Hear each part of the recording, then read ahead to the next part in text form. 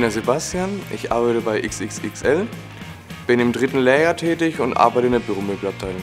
Mein Aufgabengebiet ist hauptsächlich die Kundenbetreuung, sprich 3D-Planungen für den Kunden in seinen Raum direkt zugeschnitten, Vorschläge ihm zu geben, seine Vorschläge natürlich auch mit einzubeziehen in die Planung und natürlich direkt an der Ware die Betreuung.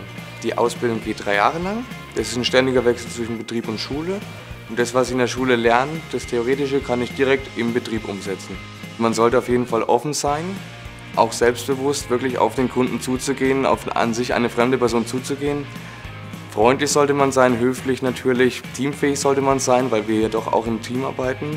Jeder ist für den anderen da, jeder hilft einem weiter. Das ist das, was ich besonders so schön hier finde, weil man wirklich nie alleine gelassen wird, sondern immer zusammen an einem Strang zieht.